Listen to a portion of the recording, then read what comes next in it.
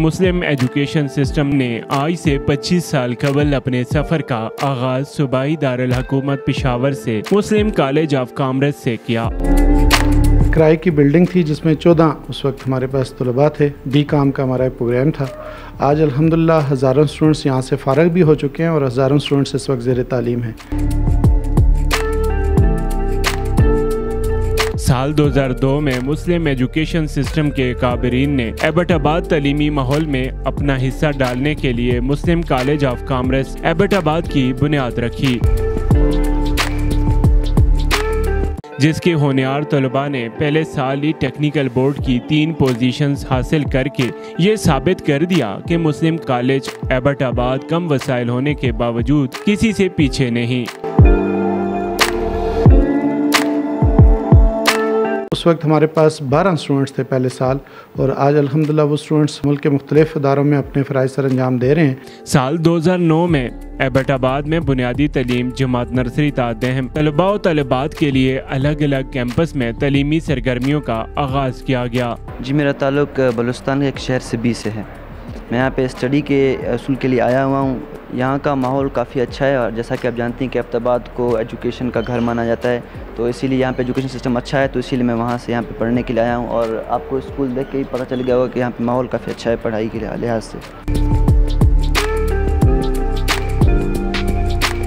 पिशावर से जो ये सिलसिला शुरू हुआ, पिशावर, मानसरा, एबटाबाद, मरदान नौशहरा हमारे यहाँ पे कैंपसेस हैं और ये 20 टोटल हमारे कैंपसेस हैं। कॉमर्स एजुकेशन और साइंस एजुकेशन जनरल एजुकेशन के ये हमारे इदारे हैं और इसके साथ साथ हम आईटी एजुकेशन है, जिसमें डीआईटी एक डिप्लोमा है, वो भी मुख्तलिफ़ कैंपसेस में ऑफ़र किया जा रहा है।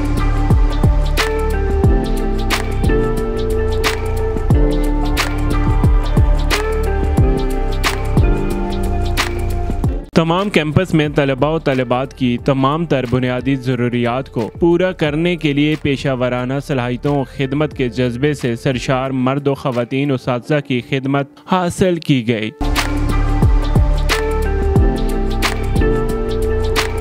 दी मुस्लिम एजुकेशन सिस्टम की मैनेजमेंट, एक्सीलेंट मैनेजमेंट है। यहाँ पे मैं पिछले तकरीबन 10 साल से पढ़ रहा हूँ और यहाँ पे हमें सबसे बेहतरीन जो मुझे देखने को मिला कि डिसिप्लिन सबसे बेहतरीन जहाँ पे बच्चों पे सबसे ज़्यादा जो फोकस किया जाता है, वो है डिसिप्लिन और इसके अलावा जो है हर साल मेगा इवेंट्स होते हैं हमारे और स्पोर्ट्स इवेंट्स हैं और मैं समझता हूँ कि हमारा जो मुस्लिम एजुकेशन सिस्टम है, वो अब तक का जो के में मैंने जो देखा है, वो एक्सीलेंट एजुकेशन सिस्टम है।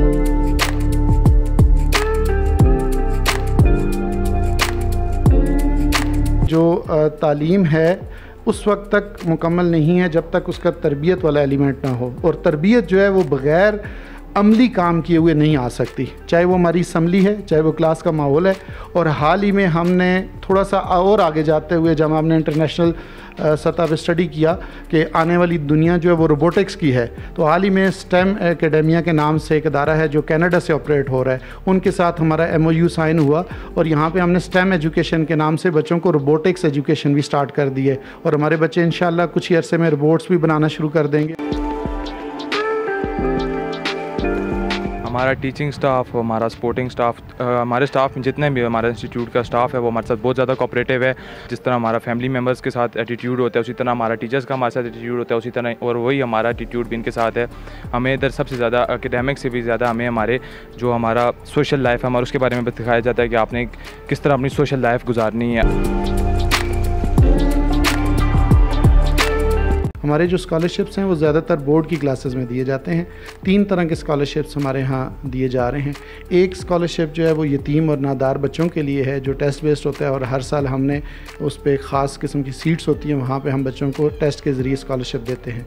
दूसरा हमारा जो स्कॉलरशिप है, वो हमारा टेस्ट बेस्ड होता है, जिसमें हंड्रेड परसेंट फ्री एजुकेशन है। साथ उन बच्चों को पूरे साल की जो उनके एकेडमिक्स के जितने भी उनके लवाजमात हैं, वो सारे अदारा पूरे करता है। एक और जो हमारा स्कॉलरशिप है, वो बोर्ड के नतज पे है। एक बच्चा है जिसके नौ सौ नब्बे से ज़ायद नंबर ले मैट्रिक में और फ़र्स्ट ईयर में जब आता है तो उसको हंड्रेड परसेंट फ्री एजुकेशन दी जाती है। इसी तरह आठ सौ अस्सी से लेकर आनवर्ड जो है वो उन बच्चों को हम जो है फिफ्टी परसेंट है, फिर ट्वेंटी फाइव परसेंट स्कॉलरशिप है। तो ये तीन तरह के स्कॉलरशिप हम दे रहे हैं। इसके अलावा एक आगोश, एक अदारा है जो अलखदमत फाउंडेशन का प्रोजेक्ट है।